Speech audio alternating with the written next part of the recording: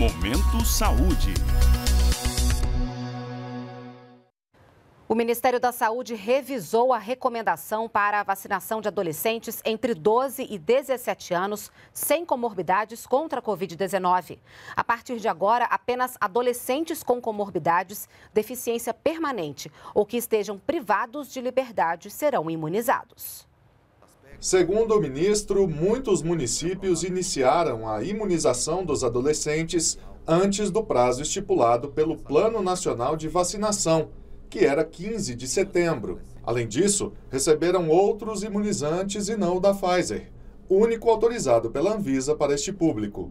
Marcelo Queiroga lembrou ainda que a Organização Mundial da Saúde, OMS, recomenda a vacinação de adolescentes sem comorbidades apenas depois que as populações de maior risco sejam imunizadas. Então, meus amigos, 5.570 secretários de saúde do Brasil, Sigam a recomendação do PNI. Sigam a recomendação do PNI.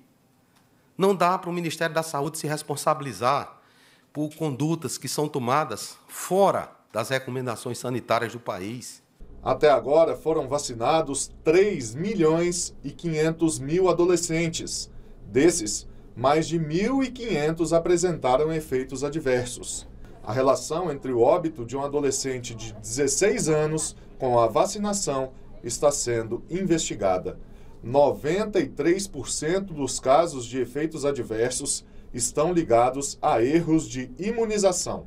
O que, é que significa erros de imunização? Na verdade, um quantitativo muito grande de pessoas que foram imunizadas por um imunizante que não tem indicação em bula para aquela população, para aquela faixa etária. Às vezes tomaram a primeira dose de um determinado imunizante, quando foi a segunda dose, ainda tomaram de outro imunizante.